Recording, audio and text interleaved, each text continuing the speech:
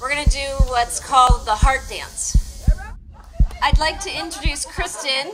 Kristen is our A&P teacher who's amazing.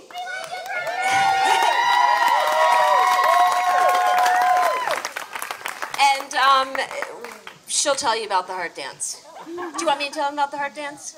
Okay, so Gil Hedley is a self-taught anatomist, and he does dissections, and that's how he's learned about the body. And so at the end of one class one day, someone said to him, um, will you show us how the heart works?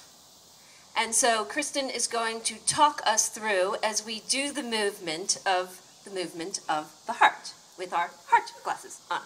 So, blood flow through the heart starts with deoxygenated blood coming through the superior and the inferior vena cava, and the blood comes into the right atrium, passes through into the right ventricle, and gets pumped out the pulmonary arteries to the lungs, where the blood is oxygenated.